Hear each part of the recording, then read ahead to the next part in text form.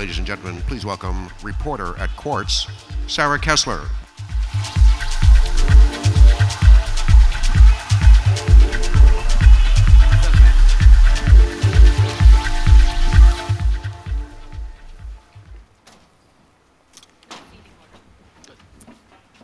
Hello. Um, so this next panel is going to be about automation and work. Um, and we have a lot of great people who are on the panel, who I think they're going to send out now, and I can introduce them. Um, so, so, yeah, I guess first we have um, Stefaan Verhulst, uh, who is a head research at the GovLab at NYU and also a senior advisor and the former head of research at the Markle Foundation. Um, we also have Peter Hirshberg, who's the co-founder of the Maker City Project, which helps cities prepare for technological change. Um, we have Emma Nicole, who's a government specialist at LinkedIn and helps governments brand themselves to attract talent.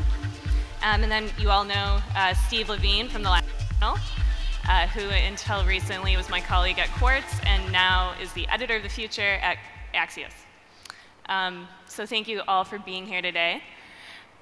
I wanted to start um, by kind of getting a read on how you feel about automation and how it will impact workers.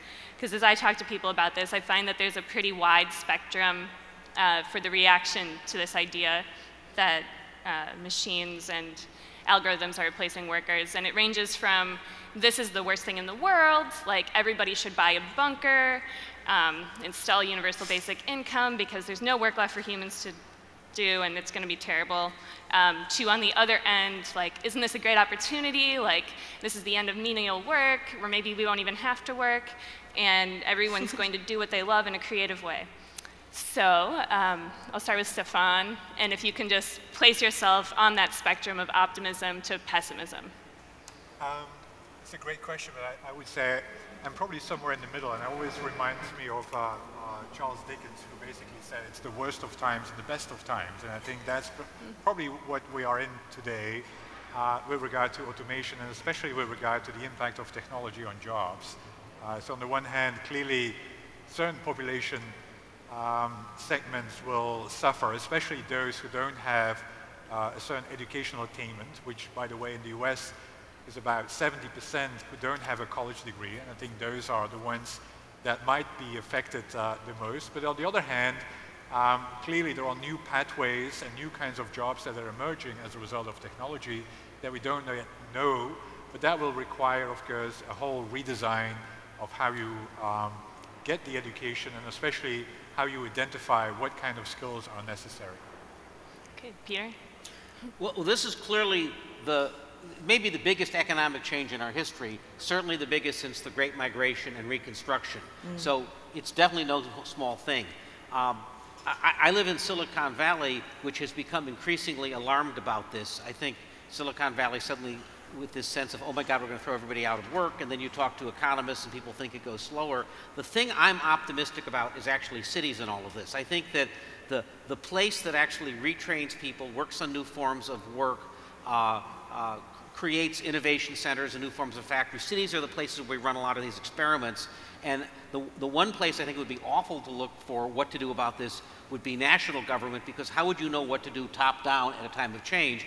And I'm very optimistic that that, that all forms of cities and young people working together will kind of come up with the new forms of doing things. And, and so what we really need to do is look to clues that, that come out of the robotics, come out of the AI community, come out of cities, and then figure out how to scale that stuff. Uh, so I'm long on running experiments, uh, and that makes me optimistic. Nice. I would say personally, uh, I would be a little bit nervous considering my job uh, my day job is helping governments to actually recruit people. So what will I do if, uh, if those organizations need a lot less people? Will I be out of a job myself? Um, however, you know, working for you know, a Silicon Valley startup and how uh, the disruption and the change in, in that whole space has really you know, encouraged me and my sector to continue to grow and, and create work, I think that the, uh, the long-term view is positive for sure. Steve. Yeah. uh, so as you suggested, the, the, the opinion runs all over the place, and, and the short answer is no one really knows. And there is great pessimism, great unease about this, and, and that's that we're heading into a uh, existential crisis.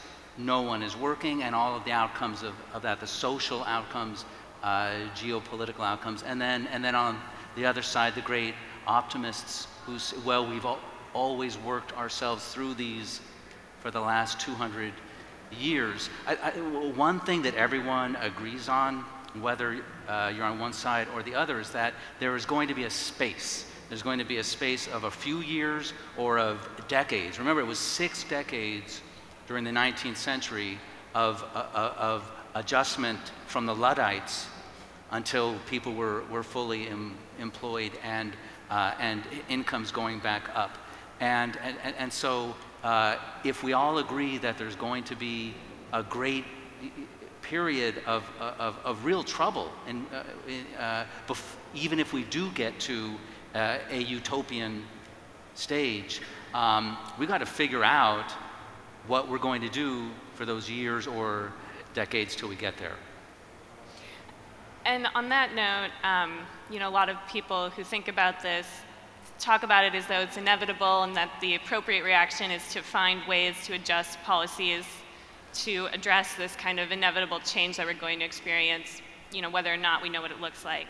Um, Steve recently wrote an article in which he argued that it's not inevitable and that we should um, do something to kind of tamper the effects of automation on jobs. And, and so Steve, I was hoping you could tell us a little bit more about that idea. Yeah, so my, uh, my own reaction as, as, as a consumer of this news a few months ago was, was well, if we're heading in, into, into this dystopia, uh, do we control technology or does it control us? We, we uh, intervene, in, we attempt to intervene in climate change, uh, nuclear war, bioterrorism, and, and, and so on. Why are we not intervening in, the, in, this, in this future uh, in, wi in which we're under the thumb of robots? And, and I did go around. I went around to um, uh, technological ethicists and historians and scientific um, uh, uh, historians and just asked their opinion on this. No, not one person thought it was a good idea to stop the robots or, the, or that it was even possible to do that. But, but um, a number of people did throw out their ideas of how uh, the worst outcomes uh, that are foreseen can be slowed or, or, uh, or at, at least curbed. And uh, among them um, that I found interesting was uh, a former uh, senior in, intelligence officer with, with the CIA. And his, um, his solution was required human content. Was that, that, that just as in an oil country, in a, uh, in a petroleum pr producing country like Nigeria, for example, when a foreign company goes in, it, it has to employ a certain percentage of locals in, or, uh, in, in, its, in its plants that, there, that when a factory is opened, that it has to have a certain amount of human content. And obviously, a lot of people are not a huge fan of ideas about, you know, preventing companies from adopting technology in any certain spaces. And there's also arguments about, um, like, when the power loom was introduced, for instance, it actually ended up creating more jobs, even though it replaced craftsmen who used to work on manual looms um, because the demand for cloth as the price dropped shot up so high that there were more people producing more cloth um, and those jobs became skilled jobs and became better jobs and so why don't we just let this run its course and that might be what happens in this case too. Um, so aside from kind of the efforts to, to just say like we're going to try to not necessarily completely stop, but somehow tamper this? Like, what do you think is the appropriate, um, for the rest of you on the panel, policy response? Um, from, you know, is it uh, universal basic income? Is it um, giving people budgets to reskill themselves? Like, what would you like to see? and Stefaan, we'll start with you. So I think, Yeah. meaning in addition to um, automation and of course globalization, which by the way, by many are seen as, as more threatening than uh, automation based upon the study that we've done with uh, uh, Pew um, lately. Um, we also have a challenge in the, um, uh, the whole labor market environment. Uh, basically, the labor market is very untransparent. And so the question and my recommendation would be is to make the labor market A, more transparent, and B, more skill-based, by which I mean that from the supply side, i.e. individuals, really have no real good way to express what they know, what skill they have, that then can match the demand side, which by the way also has no good way right now to express what skills they require, because anyone who has lately led any kind of job description, that hasn't really changed over the last, anyway, X amount of years, and so a job description is a really, currently a really bad way to signal the demand. And then when you have a more transparent supply side and a demand side, it's very hard to match that in a meaningful way right now. Plus, if you want to aspire a certain job and you know certain kind of skill sets, at the moment it's also very hard to even get the education to then get the job that you want to have and have a career path. So my recommendation would be is to make this triangle where you have the supply, the demand, and education far more transparent and in sync with each other in order to really address the challenge that we have. Yeah, I would absolutely build on that, that we also need a common language between, you know, individual workers and the organizations that are going to provide them opportunities to, you know, generate economic opportunity for themselves.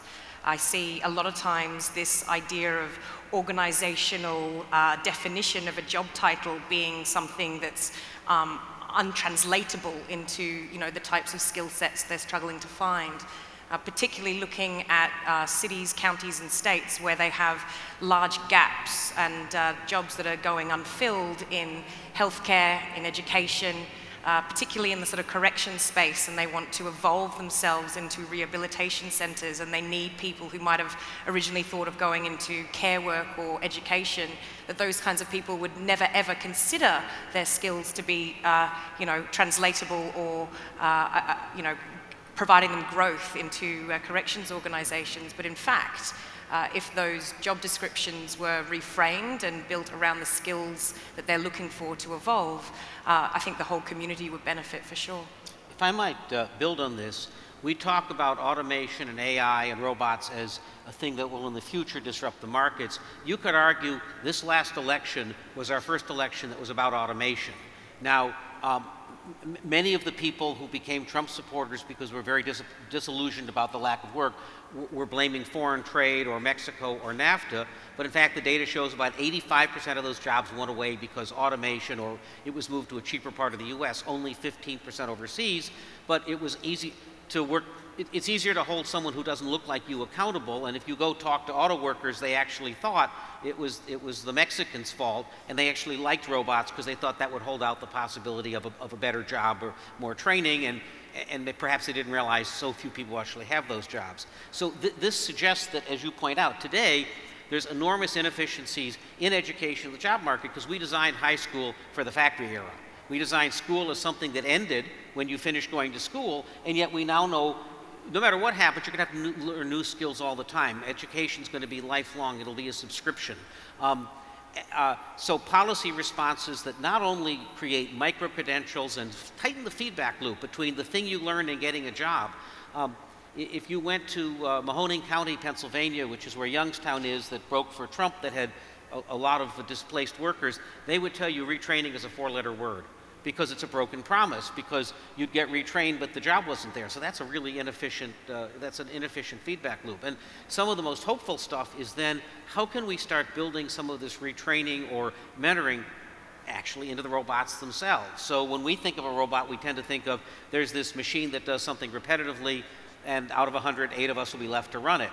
Um, if you talk to Autodesk that builds Dreamcatcher, which is software that helps you generatively design something, so you come up with an idea and it designs it, you mentor it, and then it starts mentoring you with new skills. The machines and some of the most sophisticated machine shops teach the workers the skills in real time, collapsing this huge inefficiency we have in education. So it would suggest areas like that are areas of hope, and we, are probably hugely, probably the biggest national security issue we have is how would we deal with this? That would suggest you may not need a new deal that creates jobs, but you need something that keeps people rapidly skilled and I think one of the great crimes of the last election is nobody brought that up. Uh, Bernie Sanders brought up socialism, and Donald Trump brought up your jobs from the coal era, and, and Hillary was accused of, of not liking the people who were deplorables. But what never got on the table was there's important work to be done here. And I mean, Steve, did you have something else to say? No, no, I just, uh, just from what was not said during the election, um, and what is going to happen uh, from the population when it realizes that it wasn't Mexico, that it wasn't NAFTA. Um, are we going to have another Luddite uprising? Um, that's one issue. Uh, but the other issue is uh, that, that we're not, uh, we haven't thrown into the equation is our aging population. Uh, we're not growing as fast and we're getting older so the question is, do in fact we need robots to take that space? Well, I mean, I think if there was anything discussed, uh, which is on the education part, and I, I, agree with the aging element as well, is that still the debate is much about having access to college. I mean, that was, uh, that was and is still quite often a popular topic, and, and lower the cost, which of course is uh, uh gigantic. Um, but much of the uh, um, jobs at stake and the future jobs that will be created are middle skill jobs. And so they don't really require a college degree automatically. And frankly, what we have, which again goes back to my um, lack of transparency about what you need and what you, uh, uh, what you have, much of the, um, the current description and what you need is always automatically in terms of you need a degree as opposed to you need a kind of skills. And so again, part of the challenge that we have is to A, how do you get educational attainment beyond a four-year college degree, which is always seen as nirvana, despite the fact that most of the jobs quite often require uh, a different kind of training than just a college degree. And how do you then reflect that in terms of the skills that are required? And how do you get it in, a, in an ongoing fashion? Because clearly, um, uh, ad ongoing adult learning will be part of the, uh, um, the way forward, part of the future of work kind of landscape, but it, it doesn't, anyway, it's unfeasible to require someone to just stop uh, uh, for two years and, and, and, acquire a new degree, for instance. So you will have to have new ways of uh, educational attainment, microcredits, and, and that kind of stuff. But that's really uh, was ignored at the campaign trail, and much of the debate is still about having access to college degrees, which frankly is a different debate, an important debate, but it doesn't deal with the real challenge at hand from my point of view. And we keep coming back to um, education, which has been kind of an answer to this problem for decades and decades. You know, in the 60s, there was a report about how um, you know, the cyber revolution was coming and computers were going to take over jobs, and so we should have a massive re-education of the workforce, um, which doesn't seem to have mobilized. Um, and I'm wondering, um, you know, aside from education, are there things that we should be thinking about? And also, is this time different, which is what this debate comes down to a lot of times when you look at past um, technological revolutions, and how we've recovered from them, like, does this time merit a different response, which would be bigger than education? I, I might suggest that what we think of as education won't look like education anymore, and that may be part of the problem. We still have it like you, you, there's education and then you go to work. But as we know, um, the tools today are so powerful. Uh, obviously, the fact that college students are starting companies all the time is some indication that, that things are changing the labor market. Um, uh, when I talk about cities, I'm optimistic uh, about things like in Pittsburgh, in the Elizabeth Forward School District, they smashed uh, art, computer science, and shop together from second to eighth grade. And so the first thing that happened is kids became much less bored and they were on their, on their mobile phones less because it didn't look like work, it looked like play, and they were making things and solving problems and designing things. and they were learning skills, and they were eighth graders were solving the problems of the second graders because they were using 3D printers and code and all sorts of stuff. And the biggest problem they ran into is when the kids got out of high school, the community colleges and the colleges weren't ready because the kids already knew that stuff. And the and the kids in, in school were actually like if they saw some problem they were solving it. It was indistinguishable from work and you know it's not too far distance from there to kickstarter. In louisville kentucky general electric has a microfactory um, where people come and hack appliances. Like they just, they just came up with ideas of uh, what if we turned an oven turned off the latch that's self-cleaning and turned it into a pizza oven? What if we made new kinds of coffee makers? So you'll see hundreds of people in a space with the 3D printers and laser cutters and all sorts of stuff coming up with ideas and putting them on Kickstarter and the University of Louisville sends students over. They get paid. It looks like an internship, but they're working on projects. And it's kind of this whole fluid facility where people are learning to build something in a factory. And if it works, GE has a new product. And that's good because it used to cost them $40 million to bring a product to market. So here's something that combines uh, a little bit of education, a little bit of what we called an apprenticeship. You get paid, it's good for the community, and a big company has found it can farm work out to a group of people, and it's less expensive than the old way of doing R&D. So that's one example of mushing these things together. And when I say I love to see a lot of experiments, like no one predicted that, and that's probably not even the best way of doing it, but if things like that went on in a lot of cities, we'd learn a lot, and it might provide some answers to these questions. And so, Peter, do you think those stories are getting out to the workforce? Um, I think it's just beginning to. I okay. think that's a lot of the work to be done. Uh, yeah. Marcia and I just wrote a book called The Maker City, in which we looked at 100 cities doing this interesting work. Yeah. And yesterday, that's Marcia, say hello to Marcia. And my other co-author was Dale Dougherty, who founded Maker Faire and Maker Media. Um, we just launched a project yesterday with U.S. News. You may know of U.S. News because they rank schools and they rank hospitals. And we're going to measure and rank every U.S. city on their forward-looking economic potential. And we're putting together, you know, what does it mean to do that? So we, we have to look at uh, innovation centers and the growth of supply chain and the, the connection point between education and jobs, like how efficient. So we're trying to come up with a bunch of those measures. So I think it's just getting out there. Yeah. Um, I'd be interested in your thoughts because, like, at some point when people realize that perhaps the promise of the election isn't met, you know, aside from social revolt, do you think we'll just be ready for a lot more experimentation, or will we just all yell at each other? Well, see, the future uh, is somehow uh, uh, uh, seeable in the past. We've been yelling a lot at each other. um, but, but I do think, I do think that, that the answer, that you've got the answer right there. So, so I've got two daughters, two, two teenage daughters, and, and uh, when I talk to people who are, who are doing this, who are in the field, robotics or AI, and they're, and they're thinking about jobs, they, that's the first question all of them get asked. What, what should I tell my daughter or son to go into? And, uh, and, and, and, the one that makes the most sense to me when, uh, when, I, uh, when I'm listening is, is, liberal arts, right? So just get a great, stuff your brain fill, uh, full of stuff. But as soon as we get rigid with our policy yeah.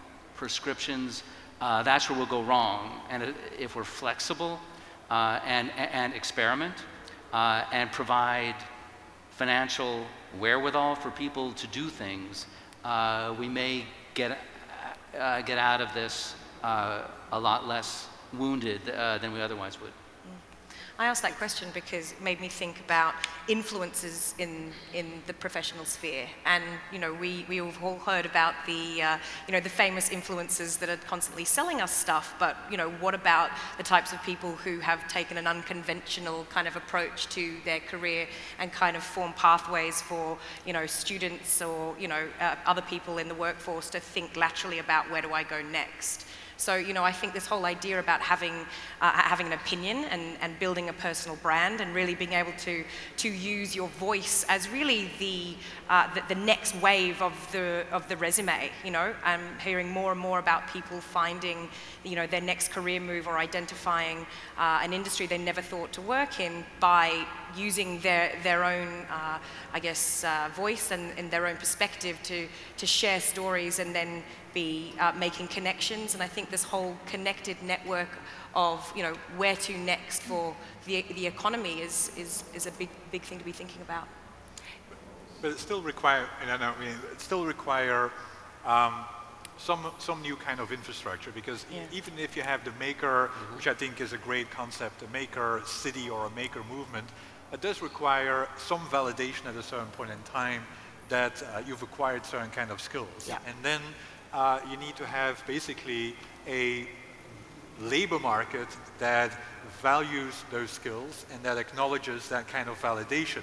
And so you do need to have still uh, uh, some mechanism uh, where you can A, validate what you've acquired, B, share that in a manner that others can see or have a signal that actually is valuable, and then also connect that with a career path because it's not only about just having a job, Yeah. it's really about being able to progress all over time.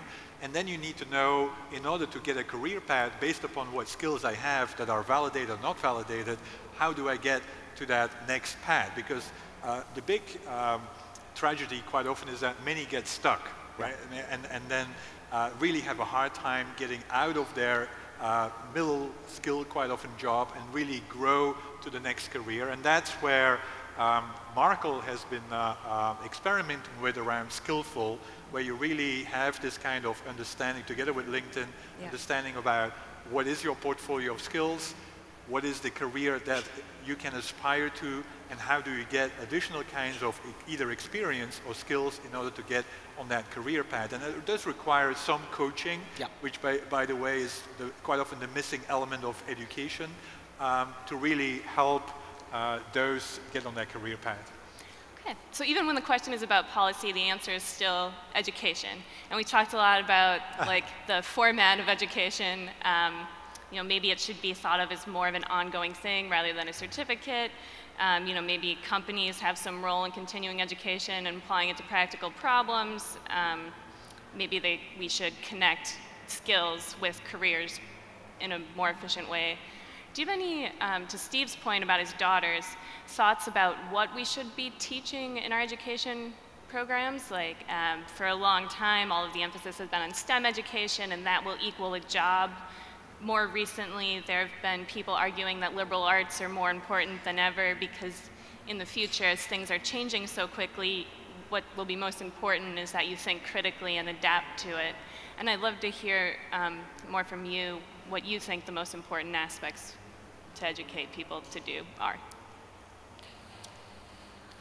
Me? Yeah, Yes, you. sure. Well, Peter. it's, it's a, I, it really is both of these. Um, um, uh, when I talk when, when, when I talk about that thing that went on in Pittsburgh, where you smashed art, computer science, and and uh, shop together, that really is the, the unity of liberal arts and making things. Also, in our society, we've had these as separates. Not only did we have the rise of too much college, perhaps, but we basically said there's people who work with their hands and their blue collar, and we have people who work with their brains and their white collar.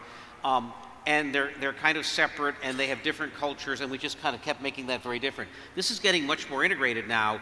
Um, in the future, you can't work with your hands and not use sophisticated tools, sophisticated coding, you're programming stuff at CNC machines, uh, it solves problems better. So it, it gets very mushed back and forth.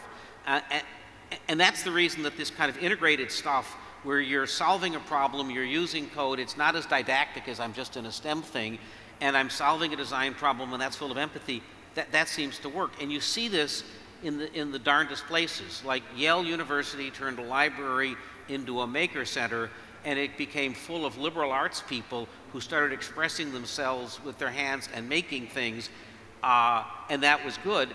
And then, but at the same time, to your point, you, want, you have to layer onto this micro credentials and the specific things that you're good at because we're disaggregating education. Um, one of the problems, even with trade education, is you go in for a couple of years and you learn a particular thing. There may be one skill you want to learn. So, my friends at Tech Shop, which is a makerspace, are working with uh, people who provide trade education so you can come in, get the credential for the one thing you need, and so the job can say, here are the three things you need, and you can do those three things, right? So these smaller, more portable forms of credentials, and maybe they use blockchain to share them with people, and I think this is a lot of the direction LinkedIn's going in. There's something about that that, that, says, that favors this, this new way of learning, but then teases out the specific things that you're learning. And then and then you can start using intelligence to start matching up people who have this and where's, where a career is going, and it might coach them and pull them in, in a direction. In 1964, Marshall McLuhan said that um, uh, the information content inside a classroom is less than outside the classroom, so the student kind of realizes by going to school he interrupts his education. And he said that in 1964, and now we have kind of all of these wonderful tools, so we're kind of a bit mushing together classroom and, and, not. So yeah, so again, in the, in the survey we did, uh, uh, Markle did with um, Pew, uh, there was a clear indication, uh, A, that, and a clear expectation that um, there's not going to be one skill and you're never going to be uh, skilled uh, forever, right? So you're going to have ongoing, basically, learning as the default.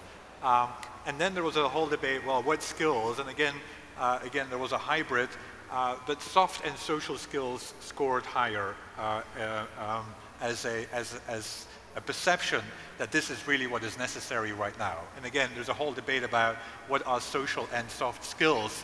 Um, but it does indicate that it's not one kind of skill, that it's a hybrid. And quite often, to a large extent, it's really the skill of learning that is really necessary and that in an, in an environment where you will have ongoing learning, that really will make a difference. And I think that's something that uh, um, even in the makers kind of movement, uh, the skill of learning, the skill of actually going about and acquire rapidly new insights of going about solving a problem, that turns out to be a foundational skill that is necessary in the current age.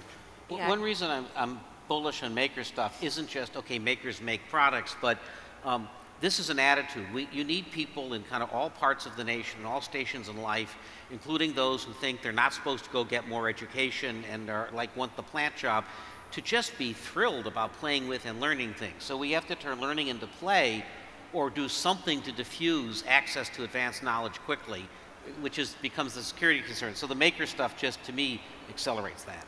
Yeah, a couple of points on that. So um, one layer I would add to your question, Sarah, is about, you know, where are you learning as opposed to, you know, what do you need to learn? And there's definitely a sort of physical and geographical answer to that question. So I'd recommend uh, if people are interested to have a look at LinkedIn's new workforce reports. So mm. we're now releasing these on a quarterly basis to actually look at the sort of uh, the movement of talent and uh, in a geographic uh, framework, but also in skills. And you know, if I was answering a question, maybe a university student was asking me, the, the answer would be you need to either look into teaching or nursing or being a doctor, because those are the three skills that are you know, the most high in demand.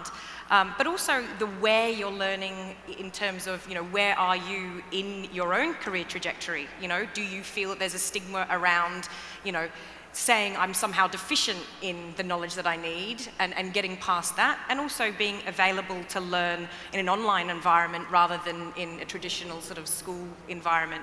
Um, some of the stuff that we're doing on LinkedIn right now is really fascinating by actually following how people are navigating and consuming news on LinkedIn, what they're saying about their, you know, their previous careers and, and their skills, and actually serving them up sort of live content to learn from in a, in a video kind of environment. So this idea of uh, learning by data about what skills and what jobs are going to be available to me where I currently live. Um, getting past that idea of, you know, I'm too long in the tooth to be able to, to pivot and change. And also that idea of I want snackable learning and I want to be able to take maybe a little, a little uh, video that will teach me how to do something right now, as opposed to what is the track that I might um, take to change my career and do something entirely different. Uh, the last tool I'll tell you about is the LinkedIn alumni tool, which is fascinating. Uh, we actually track the trajectory. It's part of our, um, our sort of economic graph uh, uh project, which is about uh, mapping the world's economy. Um, the alumni tool is actually uh, a completely free mm. way to tap in to see how did groups of students navigate their careers and navigate uh, you know, their way around the world. So if I am in Bangalore and I want to get a, a, job in Google working in the Silicon Valley, I can actually look at, well, which university degree at home will actually produce the most uh, workers at, at, Google over in Silicon Valley, and then think about who do I reach out to as a mentor on LinkedIn, for example, that I can then tease out some ideas of what do I do next. So I think this idea of you know learning and growing uh, needs to you know be part of our everyday rather than, you know, the first four years of our education before we move into the workforce. Mm. I think we can all agree that um, automation and kind of the pace of technological change will fundamentally change work, and there are ways in which that will be disruptive. Um, but also, there, at the same time, there are opportunities in that. Um, and I was wondering if any of you are excited about it or have something nice to say about automation as we've been um, kind of beating up on it here. Steve, our pessimist on the panel. okay. Uh, first, I want to th throw in one, one parenthetical thing in terms of this dystopia, that there's an interregnum, right? Right, right now we have extremely low joblessness. Mm -hmm. And the forecast is that, is, that, is that for the next, what, five or 10 years, there's going to be a lot of jobs because someone's going to have to teach the robots, us, to make the robots and teach the robots. It's sometime in the future when you have the big, this big forecast dip. What am I excited about? I, I think that the, um, robotics that's being developed for surgical purposes is very exciting. Uh, for me, I would just say, um, quite simply, the less time that I'm in a queue or a line, as you call it here, waiting to, to purchase something, the quicker that I can get out and, and work on the big ideas, uh, the better. I think all of manufacturing and supply chain is undergoing an enormous change, of which robots is just a piece of it. The 20th century was a mass century. The economics were you needed economies of scale. We all got approximately the same product. The same factors that allow you to build prosthetics or surgical devices or kind of you know unique high value things will come to much of the economy. Brooklyn Navy Yard is, is pioneering much of that, that stuff here. So I, am excited about kind of uh, ever more custom products and more people being able to express them. That GE was an example of that, more local manufacturing. Um, I think this is what happens when the software and idea content of a product goes up, which is what robots allow and artificial intelligence allows, and then the kind of the lower portion of the stack, uh, the, the, the, the, production and the setting of things up kind of gets automated. Um, that's, that's painful in the middle for the, for the people who lose their jobs, but it leads to much more creativity. I was at Apple many years ago when we introduced the LaserWriter. Um, and when we introduced the LaserWriter, um, there used to be something called the pre-press business. When you wanted to print something, people went and made sure that it looked right, it was set up right, and it would print properly. And that all got replaced by the printer driver. So when you pull down print, that little thing that talks to the printer, that piece of software eliminated a whole group of jobs. And one year I was sent off to talk to the pre-press association. I had to tell them their jobs would be gone next year. That, that was difficult. Um, but now what's happened is many, many more people make, content. we lost the pre-press people, but there's lots more people in the content and design making business because that friction went away. I think that's going to happen to a lot of manufacturing. So I, mean, I'm getting excited about um, many of the issues that were discussed as well, but especially the area where AI meets IA, by which I mean is that where you basically get augmentation uh, um, of um, life. Uh, and that is as a result of both having access to information when you need it, the kind of information that is customized to you, and also ultimately the context in which you consume the information so that basically you either augment the job you do or you augment your life in general. And I think that's really an exciting place. The other um, I think we're excited about is that, the, that much of the um, uh, technology does allow you to unbundle the process. And so um, we will see total radical transformation of manufacturing, but it also means uh, radical transformation of how, for instance, you construct a car mm -hmm. or how you construct any kind of product in an unbundled fashion where you actually have more diversity uh, as opposed to the homogeneous kind of context that we are in right now. And I think augmentation plus diversity is really uh, the promise. Um, but again, I don't want to be too uh, Pollyannish uh, uh, and, and, and still try to be uh, realistic, but that's really what excites me. Great. Um, well, it's been great solving all of the problems and coming up with definitive answers um, with you for the last 45 minutes. And so now that nobody has any other questions about automation and we know exactly what the future is going to hold and how to solve those issues, um, I'd like to just thank you for being here. Thanks, Sarah. Thanks.